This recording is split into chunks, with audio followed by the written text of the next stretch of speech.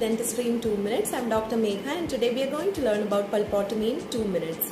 Pulpotomy is a vital pulp therapy procedure. When a primary tooth pulp is diagnosed to be normal, reversibly damaged, accidentally exposed during a traumatic injury or during an operative procedure, we can go ahead and do a pulpotomy. So when is it really indicated? Clinically, when we examine the tooth, the tooth has to be restorable in nature.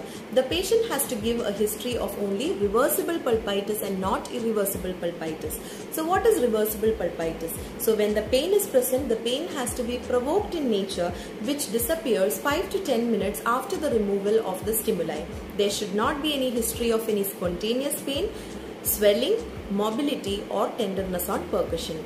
Radiographically, there should not be any interradicular bone loss, interradicular radiolucencies or periradicular radiolucencies.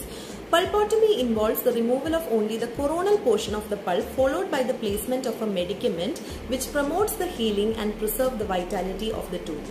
The most common medicaments that are commonly used are formocresol, ferric sulfate, glutaraldehyde, MTA, biodentine, etc.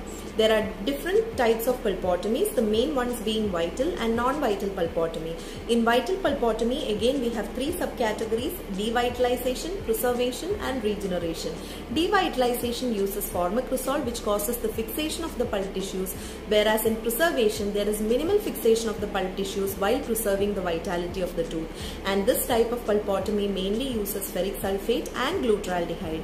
And the regeneration type involves the formation of a dentinal bridge for preserving the vitality of the tooth. And for this type of pulpotomy we mainly use MTA biomorphogenetic protein or biodentine. I hope the basic concept of pulpotomy is clear for all. I'll be back with another video. Until then, bye-bye. Thank you.